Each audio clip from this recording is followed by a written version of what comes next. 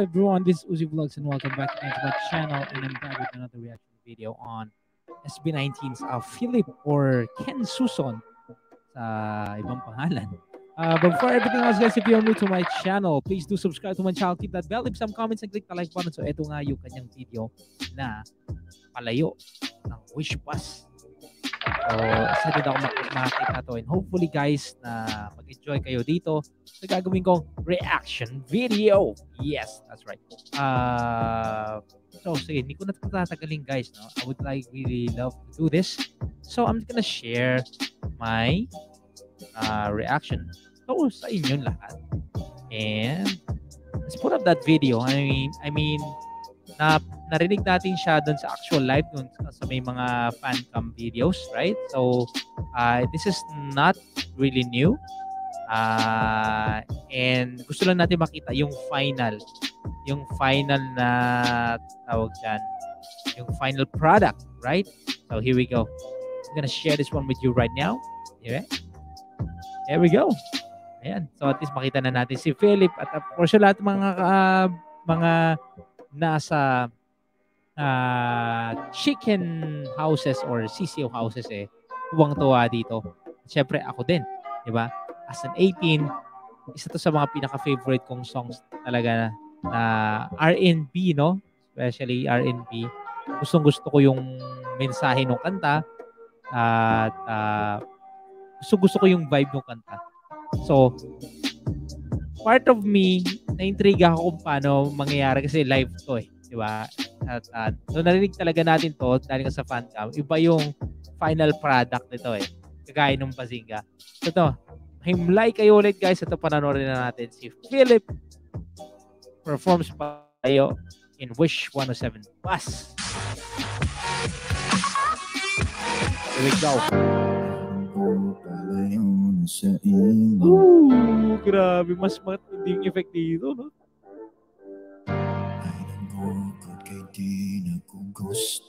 Ooh, nice. Wish Nice, 1075.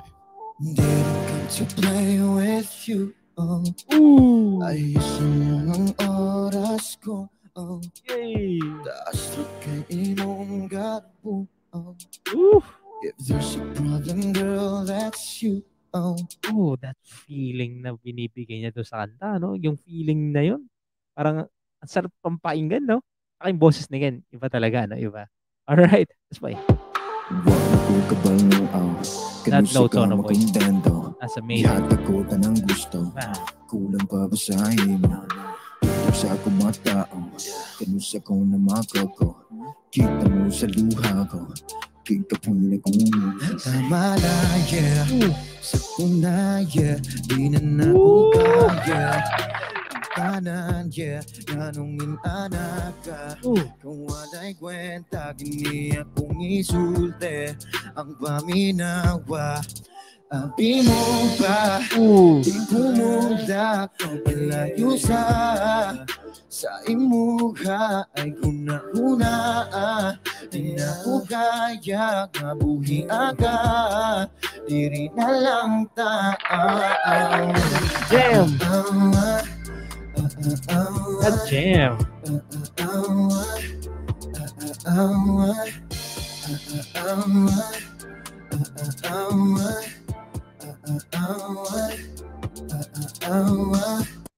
my God. That is so smooth. Diba? Napaka-smooth na napaka I, I I love how he really carries himself now. Even though na alam natin na he was and here he was kind of definitely nervous because it's gonna be his first time singing alone by himself, especially on a live and won the Wish Bus, no? Pero nakita natin yung confidence niya, no? Um, unti-unting lumabas, di ba? Unti-unting lumabas. Tapos na-carry niya, nag enjoy na siya doon sa, sa pagkanta niya. Nakikita mo naman sa gesture ng kamay niya. Parang ini-enjoy niya na eh. Nafe-feel niya na yung vibe, di ba? Galing, galing, galing. Alright, let's play. Ayaw nagstorya guy, yeah Ooh, Kalas kay laway day, yeah, yeah. Grabe yung boses niya. Dugi raga ayo kong gipulag paminaw sa imong istorya rin ako kasaba kay dili ko gusto sa mo ko pangitanin ka kung sa problema pugsog pa nasugod ka nanumande kamo storya tas ang sala ako agali hug lang brok ayo sa imong batasan ngali masabtan Gani na lang ako tanan na na na Ooh, Sabi mo ba ay, nice one. hindi ko malakaw Ooh, that adlib. No, uh, no. Yeah, yeah. Oh, nice. Hindi na lang ta, no, no, no. uh,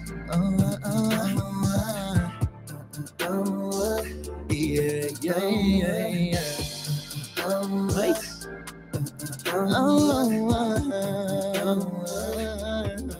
Woo! Grabe. Solid, grabe, solid talaga. Inambog at kay di na kung gusto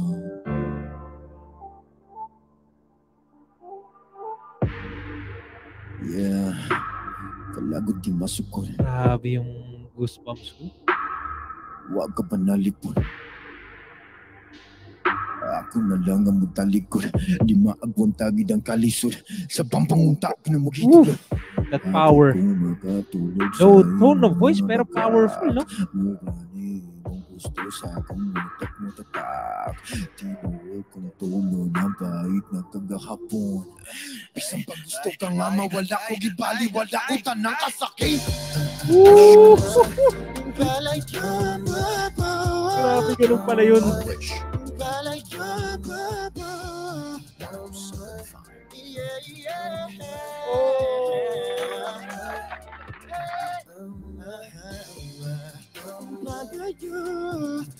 Balay ka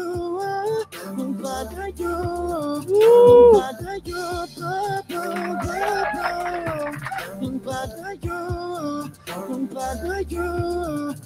Oh my goodness, man.